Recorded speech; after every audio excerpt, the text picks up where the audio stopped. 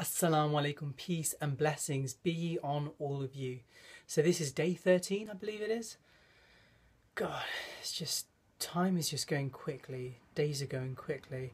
Before you know it, it's going to be the end of Ramadan, so it's just like really making most use of, of this month, you know.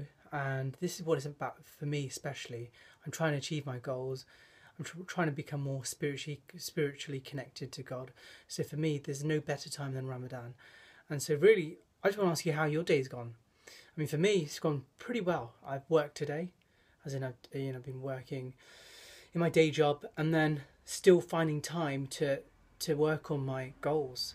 So for me, I've been doing my my uh, Quran and I've been doing the translation as well. Those are two of my goals, two of my main goals, as well as eating healthy and exercising and things. I wasn't able to exercise as much as I want. Oh, oh, oh sorry, I didn't exercise at all today. I just, I really didn't get the chance to do that, given it was literally so busy.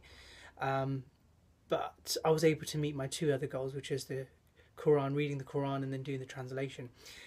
And so, really, I just want to give you a few, uh, you know, a couple of, you know, uh, just a reminder first of all. So it's more, more of a reminder and just a tip really for you to, for you to follow. May benefit you. I mean, for me, what I did was I was, I was working today, so whenever it was quiet, I made sure that I made the maximum, you know, an efficient use of the time that I had available. So when I was reading the Quran, what I did was my, one of my aims is to read half an hour, half an hour of, of the Quran. So what I did was basically I literally got my phone out and I timed it for like about 30, 31 minutes just to allow for, any distractions that might happen. So if someone calls me or anything, I can just pause that time and then you know do whatever I need to do and then come back to reading the Quran. So if whenever I was reading, I'd pause it and then I'd do what I need to do, come back. So in that way, I knew exactly how much I was reading. I could keep track of how much time that I was using for Quran. So it's just a time, uh, just uh, just a tip for you to really use. You know, whenever you're doing anything, you know, if you if you if you're committed to achieving a specific goal, it's always useful to get like a timer or something. It's, I mean, it just works for me. It might work for you. So it's just a suggestion, yeah, for something for you to try. So give that definitely give that a try and see how that works for you. And really, this is just a reminder, a reminder for, for both myself and for you that time is ticking away. Time really is running out, like anything, you know, and we just need to make the maximum use of this time that we have available.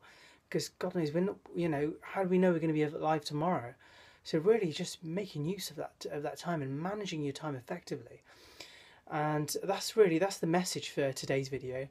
And yeah, I just want to know how things are going for you. I hope things are you know shaping up to be uh, as as well as you're expecting them to to have gone, and really, it's just making that use, making full use of the time that we have available. So, if there's anything that I'd like you to take away, it's that time management, making use of the time with no distractions, as I've mentioned before in a previous video. So, until then, have a great evening, and I hope you have a uh, you know a successful fast tomorrow, and we'll definitely speak again. Take care. Assalamu alaikum.